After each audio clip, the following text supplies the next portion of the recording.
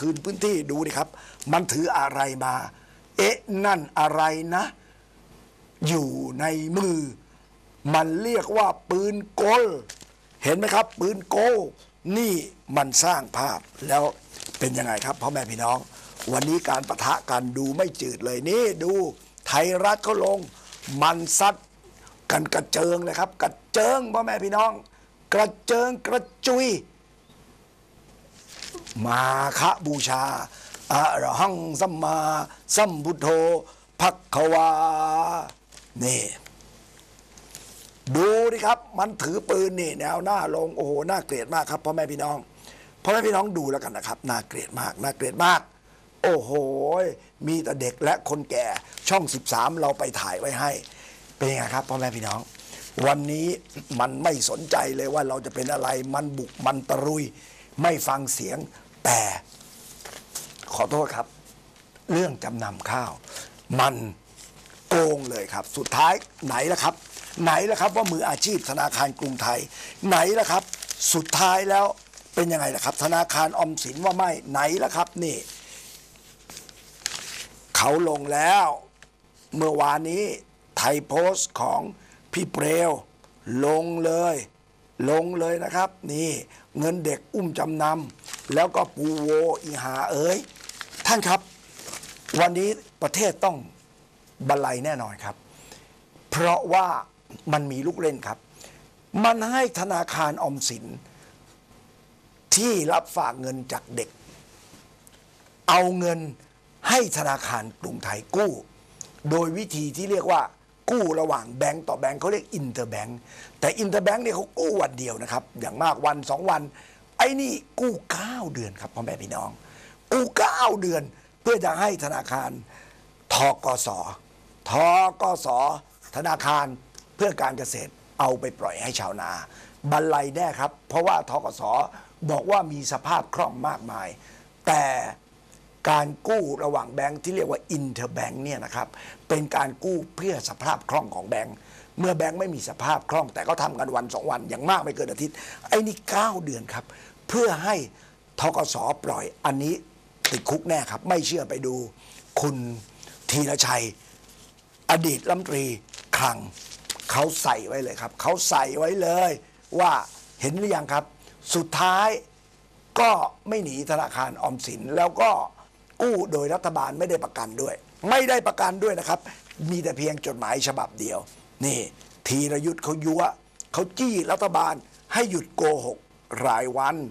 เพราะมันตอแหลรายวันจริง ๆ นะครับนี่เขาจี้เห็นไหมครับนี่เห็นไหมครับจี้รัฐบาลหยุดโกหกรายวันทำจดหมายให้ประชาชนลงชื่อเห็นไหมครับเขาสู้ขาดใจเขาออกมาสู้กัน แต่ว่ามันไหวไหมนะครับ มันไหวไหมนะครับ และไทยโพสต์ของพี่เปลวยังมีแถมอีกอ้าวนี่ดูดิครับ หญิงกล้า สวดมนต์ขวางตำรวจเนี่โอ้โห ของพี่เปลวอ๋อนี่นี่แนวหน้าไม่ใช่ของพี่เปลวแนวหน้าของคุณแหนนี่นี่นี่เมื่อกี้พี่เปลวไปแล้วนี่นะครับ นั่งสวดมนต์ขวางเลยเป็นอะไรเป็นกัน โอ้โห เธอเป็นหญิง แต่ใจเด็ดครับ ใจเด็ด ใจเด็ดเอาแล้วดูภาพนี้ โอ้โหบุกเข้าลือเต็นโอ้มันอะไรกันนักหนาครับพ่อแม่พี่น้อง วันมาฆบูชา ระหว่างพ่อแม่พี่น้องไปทำบุญกัน มันเอาคนบุกเข้าลื้อเต็นท์เลย นี่ ปูหวังชาวนากลับ นี่ แล้วอวดว่าพาณิชย์ขายข้าวได้ ขอโทษครับ ขาดทุนบานทะโรคเกินกว่า4ี่แสนล้าน ตายหาแน่ครับ ตายหาแน่ครับ ตายหาแน่ เอาดูภาพนี้บ้าง นี่ ไทยรัฐเหมือนกันนางปูนี่เอาภาพนี้จะจะๆเลยนางปูทำบุญที่วัดพนัญเชิงวันมาฆะกับลูกชาย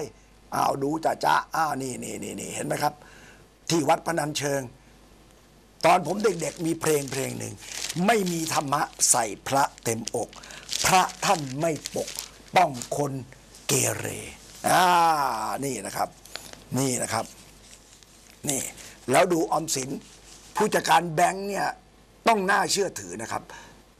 บริษัทเงินทุนหลักทรัพย์ เรียกว่า trust trust ก็แปลว่าน่าเชื่อถือ ออมสินโต้ไม่ยุ่งแต่มึงยุ่งเลย ปล่อยเงิน interbank เอาเถอะครับ วันนี้คุกคุกคุกคุกรออยู่อ้าวแล้วดีอันหนึ่งรูปนางยิ่งรัก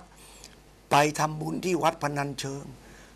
รู้หรือเปล่าว่าเป็นอะไรมาอย่างไรนางยิ่งรัก หรือชาวบ้านเรียกว่า อีโง่ ผมไม่รู้ว่าโง่จริงโง่ไม่จริงนะครับเขาเรียกอีโง่ ผมก็ไม่รู้ จะบอกให้ฟังว่า วัดพนัญเชิงเนี่ยมีมาแต่โบราณกาลนะครับ ก่อนสมัยอยุธยา ตามตำนานเอ่อเล่ากันว่าเป็นที่วัดสร้างขึ้นจากพระนางสร้อยดอกหมากจากเมืองจีนมา แล้วมาสร้างที่นี่จึงเป็นตำนานแห่ง ความรักเหมือนกันเนี่ยนี่ถือไปวันวาเลนไทน์จะไปไหว้วันแห่งความรักหรือเปล่า เพราะพระนางสร้อยดอกหมาก มาคอยแฟน โอ้แต่นางปูเนี่ยต้องไปคอยชั้นเจ็ดวห้า Four Seasons หรือไปมัลดีฟส์นี่นะครับ หลวงวัดพนัญเชิงถึงมีพระองค์ใหญ่ เรียกหลวงพ่อโต ชาวจีนถึงไปไหว้เรียกซำปอกงแน่เห็นไหมครับ ไปไหว้พระต้องรู้ว่าอะไรเป็นอะไรไม่ใช่ไปไหว้ แล้วจะขอโน่นขอนี่นางปูไปไหว้ขอไม่ได้หรอกครับ ไม่เชื่อผมไม่ต้องเชื่อ เชื่อสมเด็จพระพุทธาจารย์โตพรมรังสี ผู้โด่งดัง พระของท่านเรียกสมเด็จวัดระฆังองค์ละเป็นล้านล้านๆไม่แน่จริงไม่เป็นล้าน ท่านเจอคนไปไหว้พระขอโน่นขอนี่ขอนั่นท่านก็บอกว่าลูกหลานเอ๋ยขออย่างไรพระท่านก็ไม่ให้ไม่ได้หรอก มันขึ้นอยู่กับบุญกับกรรมเก่า ที่เจ้าทำมา ถ้ายังไม่ถึงเวลาของเจ้า เจ้าขอยังไงร้องไห้จนน้ำตาเป็นสายเลือดก็ไม่ได้ แต่ถ้าถึงเวลาของเจ้าที่บุญเก่าทำมา เจ้าก็จะได้รับ และเทพเจ้าองค์ใดก็ไม่สามารถจะฉุดเจ้าอยู่ ขึ้นอยู่กับความดีความชั่ว แต่ความชั่วนั้นทำไว้เยอะเหลือเกิน เยอะเหลือเกินนะครับเอานี่เดิมพันอันตรายดูหน้าชาวนา มันยังบอกชาวนาปลอม มันบอกชาวนาปลอม ไอ้เวนเห็นไหมครับ ชาวนาร้องไห้จะไตหงไตหา มันบอกชาวนาปลอมอ้าวดูกำนันเขาเมินคนกลางถูกต้องแล้วครับ เพราะคนกลางพวกมันทั้งนั้นดอกเตอรวิษณุอย่างนี้ ไอ้เตี้ยสุพรรณเป็นคน บอกว่าดีเหมาะเหมาะเหมาะพวกมึงทั้งนั้น นางปูบอกต้องคนกลางแต่คนกลางมึงจัดก่อน ไอ้ควาย กูไม่ใช่ควายนะโว้ยนะโว้ยนะโว้ยต้องบอกอย่างนี้เลยนะครับ ต้องบอกอย่างนี้เลยว่ากูไม่ใช่ควายนะโว้ยและวันนี้มันบอกชาวนาปลอม เอ้า เราไปดูคลิปกันว่า ชาวนาจริงหรือชาวนาปลอมไปดูกันจะจะเชิญครับ Hotshot Special Scoop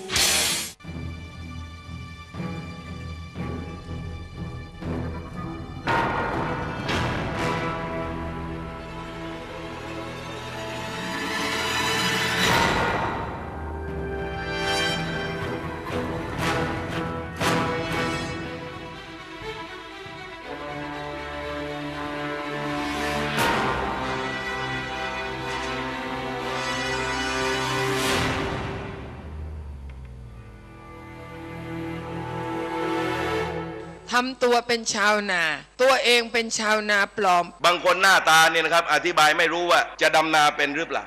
เนี่ยกระดูกสันหลังของชาติเห็นดูว่าเลือดได้กระดูกแล้วอะรัฐบาลยังลงเธอลงแท้จะไม่ให้ชาวนาเลือกไม่ให้ลูกให้หลานเลยเหรอเนี่ยชีวิตชาวนาคนเล็กดูดิตัวแทนของชาวนาทั้งประเทศชื่นใจเลยยังคนยิ่งรักษณ์ชาวนาไม่ได้ยุ่งเกี่ยวกับการเมืองชาวนาเดี๋ยวนี้ไม่ใช่หัวใช่ไฟ ที่เป็นวัวเป็นฝ่ายคือรัฐบาลชื่นใจเลยยังคนยิ่งลักษณ์ไม่เราเสนอมาตั้งนานแล้วเราเราขอมาตั้งนานโอเคอ่าผมฝากข้อเสนอนี้ไป วิงวอนฝากมาถึงรัฐสภาจากชาวนาไทย คุณนั่งห้องแอร์มันคงสบาย กลิ่นโคลนสาบควายยังน้องน้ำตาร่างนโยบายซื้อขายเปลือกประกันราคาเกษตรกรเขานอนภาวารายได้ต่ำกว่าราคาลงทุน ดีชั่วตัวคุณเขาสานับหนุนคุณเป็นผู้แทน เลือกเอาไปเป็นขาเป็นแขน อย่าปล่อยแฟนแฟนๆทิ้งไล่ทิ้งนา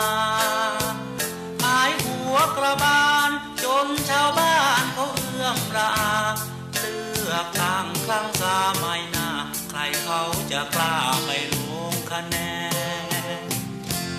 การเมืองเป็นลงเป็นเรื่องของผลประโยชน์ ผมพูดความจริงขอจงอย่าโกรธภาษาที่ใช้คำไทยโดดโดดขอโทษทีครับแบนห้ามทำไมห้ามคนทำกินใช้อ่านสะพานประเทศไทยห้ามคำเดียวจำงา ชื่อจริงชื่อนายรัฐบาธิก่อนโกงทางชาววัดเราจะเอาชาวนาเราล้วนๆ เราก็ทำหน้าที่ของเรา เขาจะได้ไม่บอกว่าคือนี่คือชาวนาปลอมถ้าไอ้นักการเมืองเลยรัฐมนตรีคนไหนว่าพูดแต่นี่ชาวนาปลอม ผมจะให้มันออกมาแล้วชี้ตัวที่ว่าคนไหนชาวนาปลอมชาวนาจริง อย่ามาปรักปรำพี่น้องชาวนาเรา เราอยากจะดูว่ารัฐมนตรีคนไหนที่พูดมากพูดดีว่าชาวนาปลอม ชาวนาไม่จริงชาวนานี้ เดี๋ยวจะอยากให้มาคุยกับพวกเราหน่อย ฉันเป็นคนที่ประชาธิปไตยปฏิบัติตนตามกฎหมาย แล้วก็พร้อมที่จะทำทุกสิ่งทุกอย่างเพื่อประชาชนบอกจริงๆฮะผมพูดทำนั้นนั่นไม่ใช่หยาบว่าตอแหลทั้งสิ้นตอแหลทั้งสิ้น Archer Special Scoop. ไอ้คนที่บอกชาวนาปลอม ไอ้ป๊อตไอ้ระยำทั้งหลายแหละมึงให้พ่อมึงไปดูด้วยว่าเขาจริงหรือเขาปลอม ผมดูแล้วทุเรศจริง ๆ ครับ พวกมันหลับหูหลับตาพูด เอาแต่ประโยชน์เข้าฝ่ายตัว ไม่มีตังค์ให้ชาวนา มันบอกว่าพวกเราไปประท้วง ใบประท้วงตั้งห้าหกเดือนมาแล้วไม่ให้ตังค์วันนี้มันเอาชาวนาเป็นตัวประกันครับพ่อแม่พี่น้อง ชาวนาต้องได้รับเงินแต่มันไม่ได้ตั้งงบประมาณ เอาไว้ตรงนี้มันตั้งไว้ห้าแสนล้านนี่บานไปเจ็ดแปดแสนล้านแล้ว มันไม่มีทางไป มันก็อ้างว่าถ้าไม่ปล่อยชาวนาไม่ได้ เอาชาวนาเป็นตัวประกันพ่อแม่พี่น้องที่อยู่ธนาคารทั้งหลายแหละท่านติดคุกแน่นอนนะครับ ท่านติดคุกแน่นอน แล้วดูดิครับ จากชาวนาไปเสียหายกันย่อยยับเอาดูปุ๋ย ยาเมล็ดพันธุ์ร้องระงม ร้องอื้อร้องกันหมด ร้องกันหมดครับ เพราะว่าทำไมล่ะครับ เพราะว่าชาวนาไม่มีเงิน ก็เลยขายกันไม่ได้ วันนี้ลูกค้าหาย ขณะผู้ผลิตโดนหางเลข เช็คเด้งรันนาว ชาวนาระทมหนัก โอ้ย เห็นแล้วมันน่าอนาจใจไหมครับพ่อแม่พี่น้อง น่าอนาจใจนะครับพ่อแม่พี่น้องในขณะเดียวกัน มาดูเลยระดับหนี้สินของคนไทย ใกล้ปี 2540 คือต้มยำกุ้ง ต้มยำกุ้ง วิกฤตตอนนั้นเราเรียก ต้มยำกุ้งนะครับ นี่เลยครับ ระดับหนี้สินเข้าใกล้ปี 2540 เราควรกังวลแค่ไหนกำลังจะชิบหายอยู่แล้วครับ แล้วไอ้ต้องยังโออีก ไอ้ระยำนี่ระยำจริง ๆ ครับ ไอ้คนคนนี้เกิดมาเพื่อทักษิณทั้งที่มาจากตระกูลที่บรรพบุรุษมันคือเอายางเข้ามาปลูกในเมืองไทย คอซิมบี้โต้งโอลุ้นใบประทวง มึงก็ทำอีก และพ่อแม่พี่น้องเป็นยังไงครับ นี่ท่านก็แย่ ผมก็แย่ทุกคนก็แย่นะครับ นี่ หัวไม้กันทั้งนั้น โอดราคาสินค้า ขึ้น ยกแผง โชว์หวย โยนต้นทางครับพ่อแม่พี่น้องพ่อแม่พี่น้องดูแล้วกันนะครับ วันนี้เราต้องอยู่ท่ามกลางรัฐบาลที่ไม่ถูกต้องตามกฎหมาย เอามาดูธุรกิจร้านอาหารมั่งว่าจะชิบหายเพียงใดอ้าวเขาก็ลงหัวไม้ทั้งนั้น ผมมาให้พ่อแม่พี่น้องดูนี่หัวไม้ทั้งนั้น ธุรกิจอาหารอ่วมเนี่ยธุรกิจร้านอาหารอ่วมยอดวูบวันละ 50 ล้านจากอะไรบ้าง บีบพนักงานให้หยุดไม่จ่ายเงินเดือน เพราะเขาไม่มีตังค์ยกเลิก service charge ร้านอาหารหรูพังพาบ พังพาบแต่ว่าอิบอาย อิบอาย ส่วนพาณิชย์ก็ดิ้นระบายข้าวทำให้ตลาดโลก ตกต่ำนี่ดูเลยครับอ้าวดูเข้าไป ดูเข้าไปนะครับ หัวไม้ทั้งนั้น ผมเอามาให้พ่อแม่พี่น้องเทขายข้าวล้างหนี้ชาวนาบันไลเลยบันไลเลยครับบันไลเลยเขย่าราคาตลาดโลกเลย แล้วก็ยอมรับเลยว่าเปิดตาหวง ยกเลิกเข้า G2G หลังปปชสอบ ในขณะเดียวกันก็มีเรื่องให้พ่อแม่พี่น้องไม่สบายใจ มันโกงกันทุกระดับการบินไทยที่ผมบอก ขาดทุน 1.4หมื่นล้าน ดูมันทำได้ยังไงครับพ่อแม่พี่น้อง เงินเราทั้งนั้นเป็นสายการบินมันมันจะอยู่ได้ไหม มันทุจริตแบบผมบอกพ่อแม่พี่น้องแล้ว เครื่องบินมันก็ซื้อมาเพื่อจะเอาคอมมิชชั่น และมันเป็นพวกไอ้หน้าเหลี่ยมทั้งหน้าเหลี่ยมพวกเฮียทางนั้นนะครับ วันนี้